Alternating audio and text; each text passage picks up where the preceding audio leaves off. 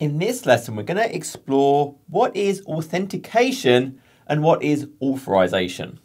If we look at the skills assessed, we're now diving into this new category of describing identity governance, privacy, and compliance features, and starting off looking at the Azure Identity Services. So again, this start of authentication and authorization, and then we'll dive into exactly, well, what is Azure AD? What is the functionality and usage of Azure AD, and then describe the functionality and usage of things like conditional access, multi-factor authentication, and single sign-on. So we're going to dive into all of those various things. So authentication and authorization. So we'll often hear about authentication. You may also hear this as auth N. So authentication is all about the idea that I want to establish and verify the identity of a person, or it could be a service. Applications have identities to enable them to interact with other resources.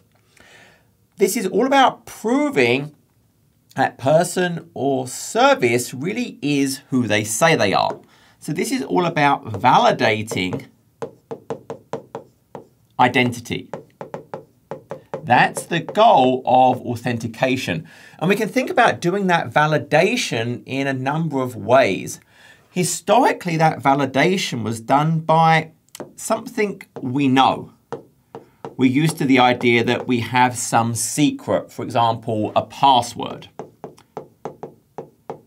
Now, this is evolving and just using passwords is really not something we like to just focus on today. We think about stronger authentication. We think also about, well, something we are. So this could be something like biometric. This could be our fingerprint. It could be that 3D vector of our face. It could be something we have.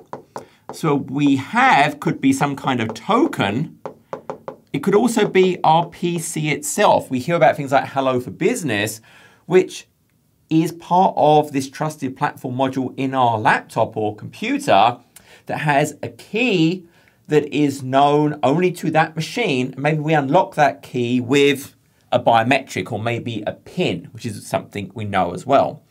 So authentication is proving the identity you really are who you say you are. Now, authorization comes afterwards. So we've proven who we are. And you'll also hear this called auth Z. Now it's about, well, what we can do. So I've proven who I am. Now, as that identity, what am I allowed to do? In Azure, we always think about role-based access control. The idea that there's some role and it's given to an identity at some kind of scope. So the pattern is I have to prove I am who I say I am through authentication.